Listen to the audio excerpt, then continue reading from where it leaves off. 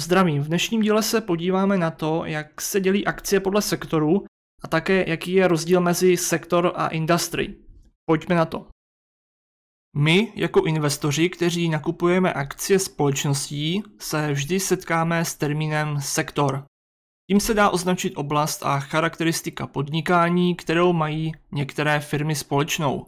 To nám pomáhá v rozhodování při investicích především z hlediska diversifikace našeho portfolia.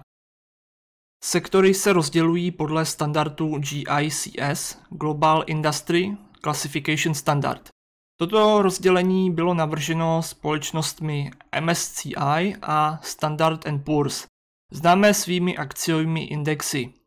Těch rozdělení může být více do druhů podle toho, jak si je kdo určí pro své potřeby.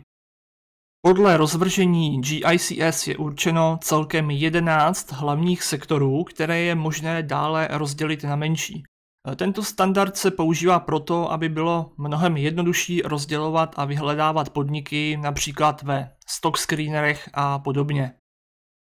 Hlavní rozdělení 11 sektorů podle GICS potom vypadá takto.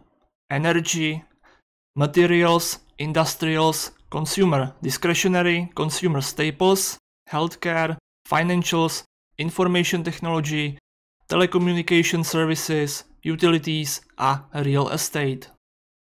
Pokud chceme dostatečně diversifikovat svá portfolia, měli bychom tam mít většinu, ale ideálně zástupce všech těchto sektorů. Samozřejmě je možné do každého sektoru investovat formou sektorového ETF. Když tedy nějakému z nich dostatečně nerozumím nebo nemám čas a nechci se tím zabývat, ETF to vyřeší hned a je okamžitě diversifikováno. To bychom měli vysvětlen pojem sektor, ale co je to industry? Jde totiž o mnohem podrobnější rozdělení již zmíněných sektorů. V češtině by se to dalo zhruba vyjádřit jako podsektory. Takže 11 sektorů GICS se dělí na 24 industry groups, dále na 68 industries a ty nakonec na 157 sub-industries. To je dost podrobné rozdělení, které je možná nad naše síly. Důležité je však vědět, že industry je podrobnější dělení hlavních sektorů. A jak to vše vypadá, pojďme se na to podívat. Zde mám otevřeno PDF přímo od GICS Global Industry Classification Standard. Vidíme tu S&P Global a MSCI. A tady potom máme to kompletní rozdělení všech těch sektorů Industry Group, Industry a Sub-Industry. Je tady toho opravdu hodně, takže pro ty z vás, které by to zajímalo, tak já vám dám dolů do popisku videa odkaz, abyste si mohli toto PDF stáhnout. Jako příklad si tu můžeme uvést rozdělení komunikačních služeb, takže telekomunikace, to znamená nějaké připojení pomocí nějakých kabelů, třeba optická vlákna, potom bezdrátové komunikace. Dále se to potom tady dělí na média. Média jednotlivá se dělí ještě na reklamu, vysílání, kabel, satelit. Publishing to jsou vydavatelé, takže noviny, magazíny a knihy v elektronické podobě, potom zábava, takže filmy, Interactive Home Entertainment, to zase budou nějaké mobilní aplikace a podobně. Tak a tady na to vlastně můžeme vidět ten způsob, jakým se to rozděluje v případě zrovna tady těch komunikačních služeb. No a podobné je to vlastně u těch všech ostatních sektorů. Takže to by bylo k tomu GICS a pojďme se třeba teďka podívat na Finvis, jak to tam má na té své mapě rozděleno. Dobrá, jsme tady na Finvizu na mapě S&P 500 a já jsem tu napočítal celkem 8 sektorů. Pojďme na to.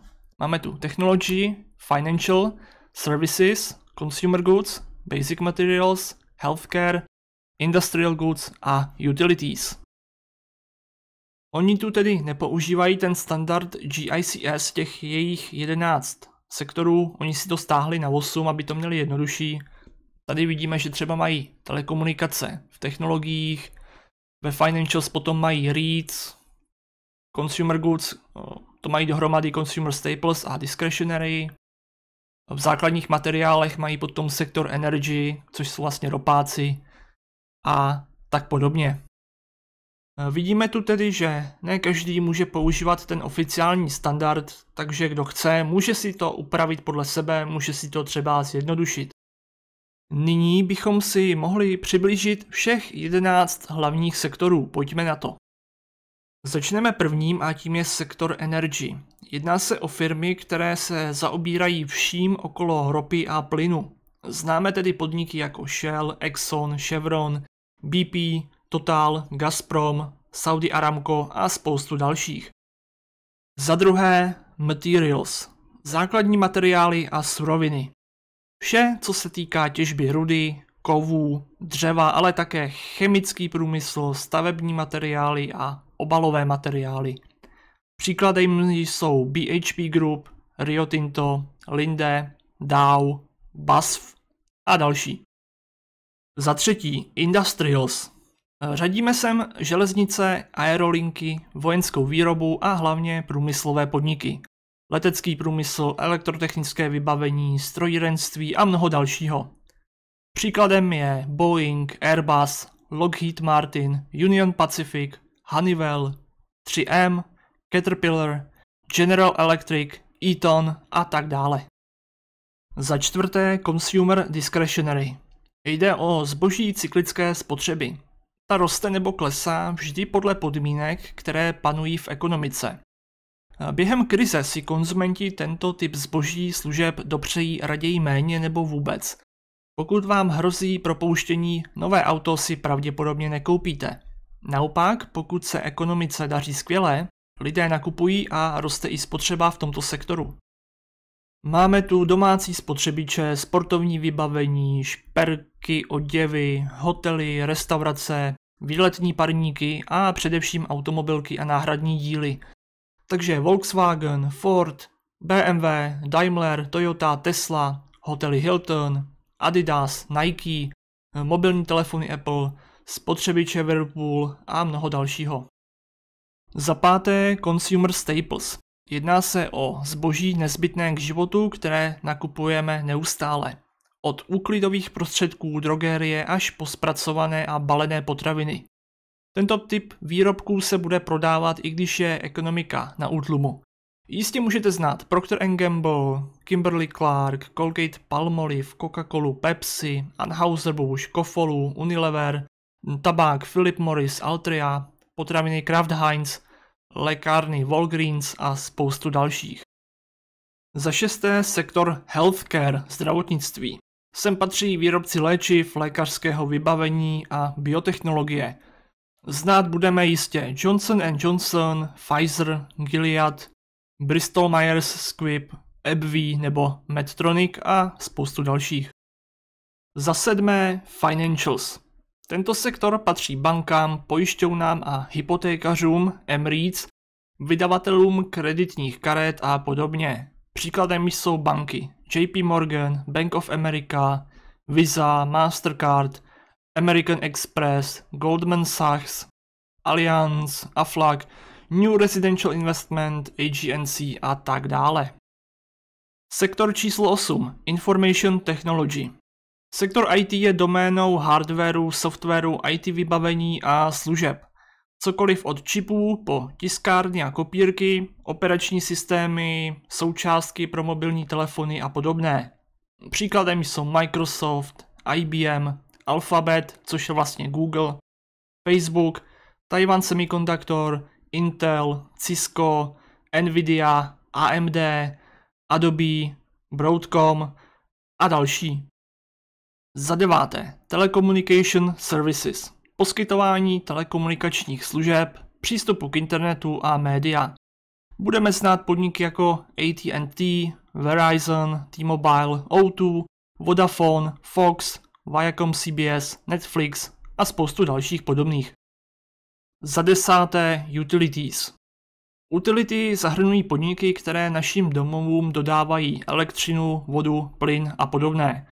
Příklady elektráren jsou Next Era Energy, Duke Energy, Dominion Energy, National Grid, Iberdrola nebo ČES. Vodárny například American Waterworks, Aqua America, Veolia. Plynárny One OK, Atmos Energy, One Gas. nebo odpadové služby jako Waste Management a Republic Services. No a jako poslední jedenáctý tu máme sektor Realit Real Estate. Zde najdeme všechny REIT společnosti s výjimkou hypotékařů, ty patří do financials. A jako příklad si uvedeme Realty Income, Simon Property Group, Federal Realty, Prologis, Public Storage, American Tower, Digital Realty, Well Tower, Equity Residential a podobně. Více najdete v mém videu na tomto kanále, které představuje, co jsou REITs. To bychom tedy měli přehled 11 sektorů pro naší základní orientaci. Někde můžete najít zase jiné rozdělení. Taktéž u mnoha společností bude těžké určit přesně jejich sektor, proto je dobré vědět, že se dále dělí podrobněji v kategoriích industry. To bude hlavně potřeba u IT a technologií, protože pod tím toho najdeme skutečně mnoho. Toto vše je především důležité znát z hlediska diversifikace portfolia, abychom nebyli příliš zaměření jen na jeden nebo dva sektory. Samozřejmě tu máme k dispozici pomocníky v podobě sektorových ETF, které nám poskytnou okamžitou diversifikaci pro naší potřebu. Tak jo, to by bylo k dnešnímu dílu všechno. Rozdělení sectors a industries. Děkuji vám za pozornost poprosím vás, abyste dali like, subscribe a uvidíme se u dalšího videa. Čau. Na závěr bych chtěl upozornit, že videa na tomto kanále v žádném případě neslouží jako investiční doporučení. Všechna videa zde jsou tvořena jen a pouze pro vaši zábavu. Pokud vás toto video bavilo, dejte like a subscribe. Pokud byste rádi podpořili tvorbu finančně, zde i v popiscích videa najdete číslo účtu, kam můžete zaslat příspěvek. Jakýkoliv dotaz můžete směřovat na můj e-mailovou adresu taktéž v popiscích videa. Děkuji za pozornost a uvidíme se u dalších dílů. Hodně štěstí při budování vašeho bohatství.